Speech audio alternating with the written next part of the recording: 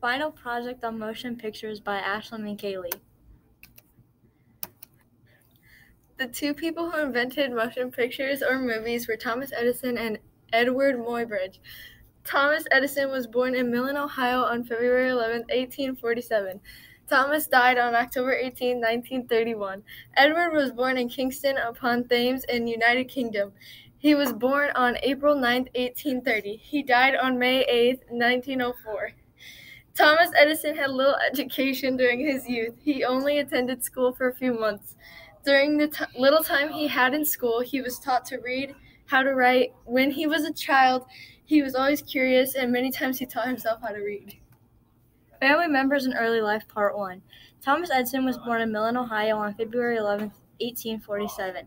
His family moved to Port Huron, Michigan, where he spent a lot of his childhood. A very odd fact about Thomas is he didn't do great in schools. His grades were not the best, which is weird because he invented the motion pictures, which is a pretty tricky thing to work on. Um, on a different note, his parents' names were Samuel Ogden, Edison Jr., and Nancy Matthew Elliott.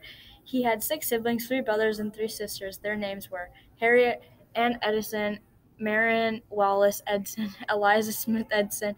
His brothers were William Pitt Edson, Charlie Snow Edson, Samuel Edson.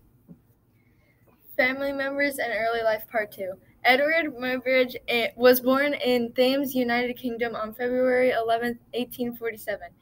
As a child, Edward was very adventurous and liked to explore things and go places. He didn't have a huge family, but he did have two siblings. He had two brothers. They were both younger than him, so he was the oldest. When he was young, he lost his dad because his dad worked in a coal mine and he breathed in all the fumes, and it eventually killed him. Edward kept going, and for a while, he worked as a sales agent for London Printing and Publishing Company and then when he was done working for them, he decided to inventing. That is when it all started. Our invention and who invented it.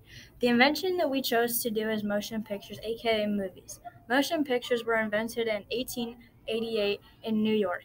and the people who came up with this amazing and interesting invention was Thomas Edison and his British assistant Edward. They decided to combine their inventions, which were phonograph and the zoophroscope, in 1889, Thomas Edison and his close friend William began to edit and adopt, adapt for the public's opinions. What happened in the process? While Thomas Edison and Edward Muybridge were working on their own inventions, they, they decided to quit their inventions and help each other with motion pictures. Thomas's invention was working on motion pictures, but Edward's invention was nothing really like the motion pictures, so he gave up his invention to make motion pictures with Thomas. They started recording with strips of celluloid and they put it through the camera and played the motion pictures, and it progressively got faster so they could make pictures that moved. How did they think of this idea? Thomas and Edward thought of the motion pictures because they knew that people loved to read and listen to books. So they thought that this that people would love to watch and listen to the book instead of having them read them because sometimes books are boring, but movies are fun and can be easier to understand because they are being shown to you in a video type, not in a picture. More about the invention. I think these two people who invented motion pictures made a really good invention. This invention helped people get be entertained. Many people use this invention over the years. It has advanced greatly with its quality. Thanks.